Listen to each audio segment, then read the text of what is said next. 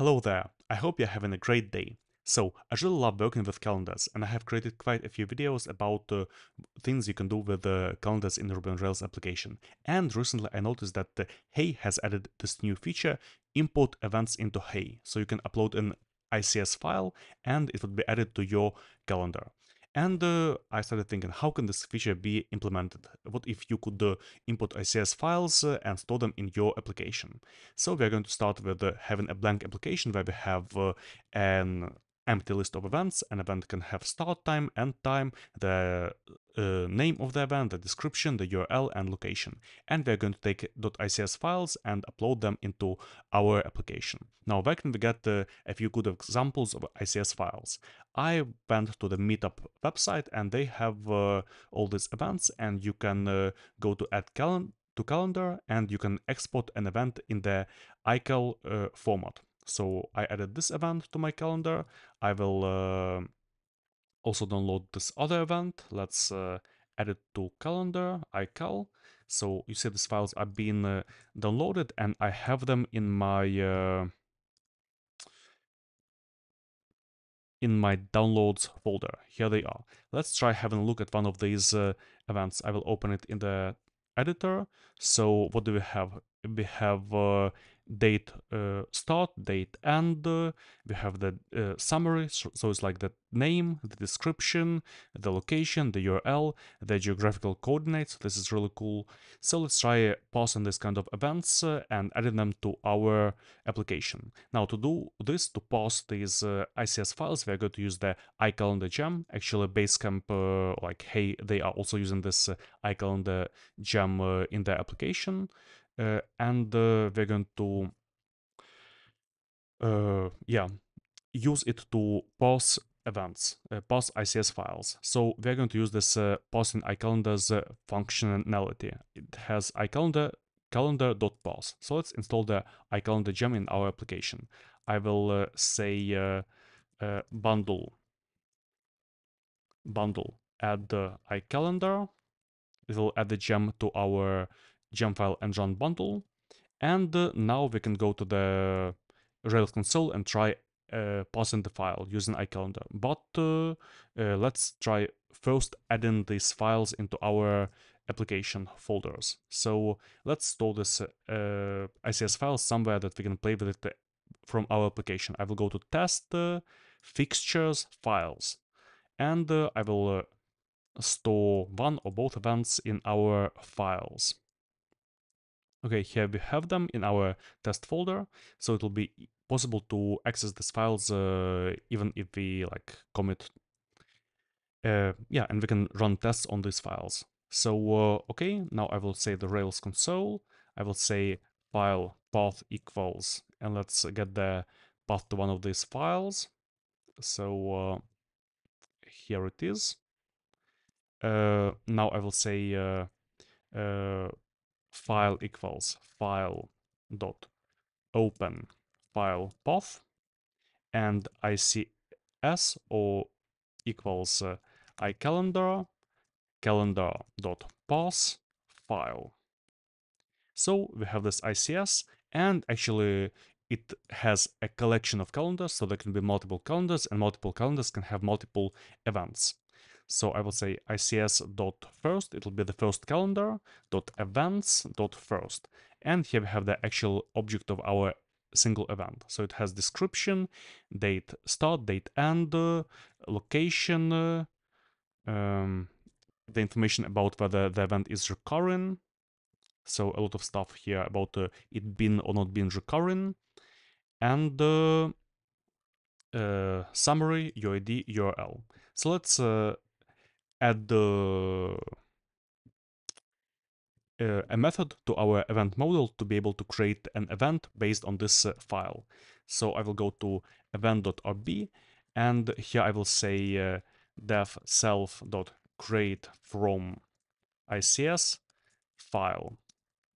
And here I will say file equals file.open file. So this is actually the file path. Then uh, I will say calendars equals iCalendar. Calendar dot path uh, file yeah. Vice versa. Here it is file and here it is file path.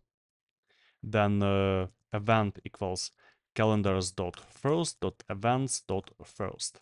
And finally we'll have event dot create and in the creative we'll have uh, um, what are the attributes that we have? We have uh, starts at that will be event uh, that will be uh, event dot date start. So event dot date start ends at will be event date end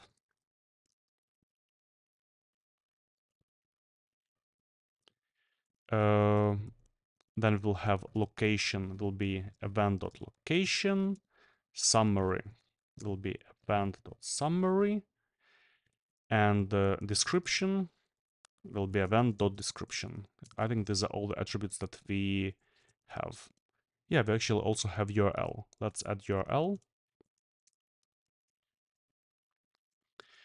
okay so we have this method and uh, later on we will see how we can uh, actually use it. Let's uh, go on and create a form in our application like this one, where we can upload one or multiple files and uh, click and the files will be imported by hitting this uh, uh, method in the event model.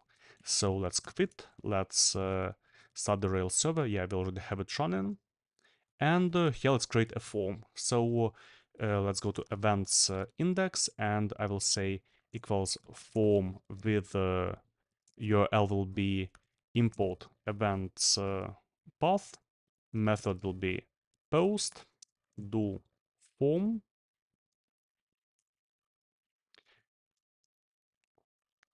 and we'll have a form.file field. Uh, ICS file, and we will have form.submit. Let's refresh. So undefined the path. So let's go to our routes and here I will say resources events to uh, collection do and we'll have a post uh, uh, import. So let's verify whether the path works now. I will refresh. Yes, the path works. Um, I don't see the file field. Yeah, I've got the equals. Okay, so we can input an ICS file and let's try doing this. I click upload, save, and nothing will happen because we don't have the controller action to respond. So if we go here, we actually get an error. The action import could not be found in the events controller.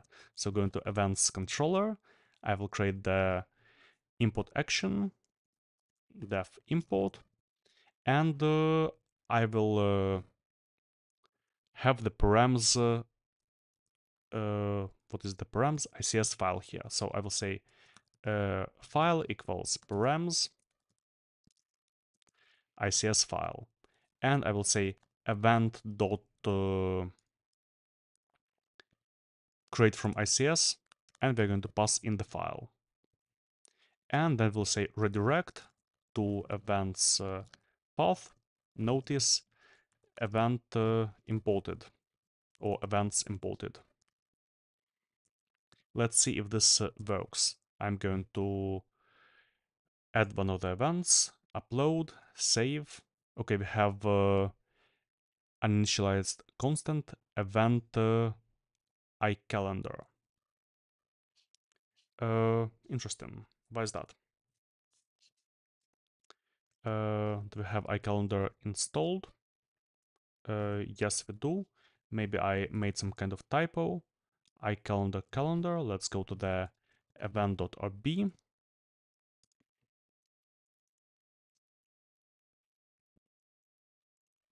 Yeah, this thing is okay. Um, I don't think we need to require in the Rails model. This is a bit strange. Let's uh, try adding a require Oh, maybe we can just restart the server. Maybe it'll work if we restart the server.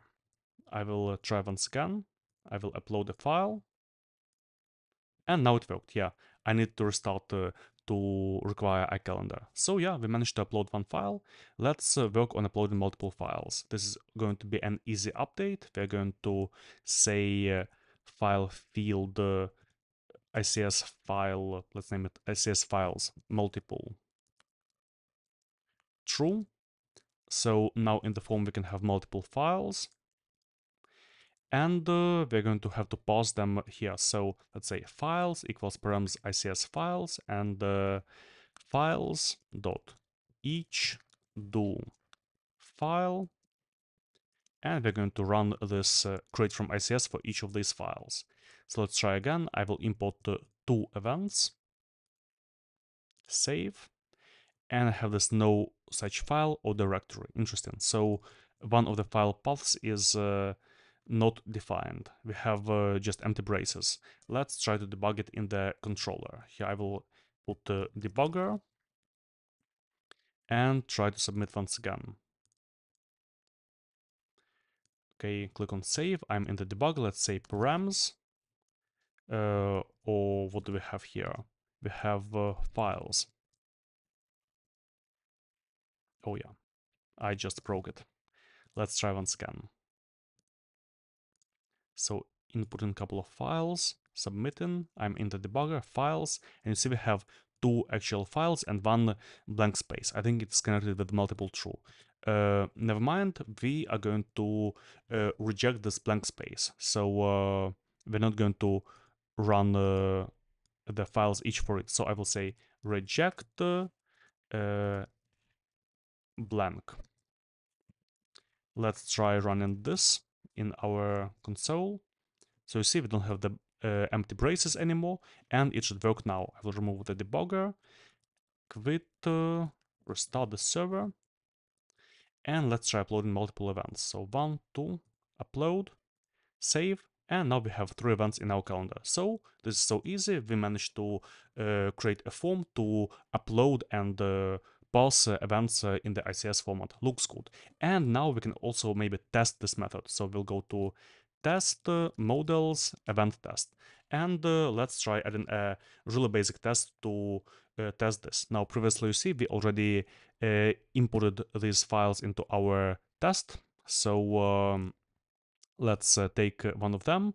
I will copy the path to the file. And let's say um, test uh, so I'll have file path equals this. Mm, we're going to test uh, create from ICS. And uh, okay, we have this. Then I will say event dot uh, create from ICS file path. Let's say event equals, and uh, I will say event uh, or like puts event dot summary. Let's see if uh, like we can run this test. I will uh, copy the path rails test. Uh. Okay, so it managed to pass it. So uh, let's uh, say assert uh, equal Sunday morning yoga in Antibes event summary. Now let's run the test.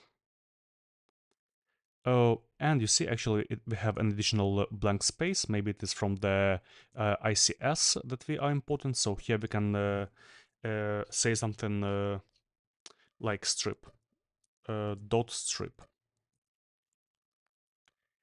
If there is an empty white space in what we are importing. So, okay, yeah, now the test was successful. And that's basically it. So we've added the functionality to import uh, ICS files to our application. And uh, I really love this icon the gem. In uh, episode 101, actually, we used uh, this The gem to generate ICS files. And well, here we uh, use the gem to read ICS files. So, thanks for being with me and see you in the next one.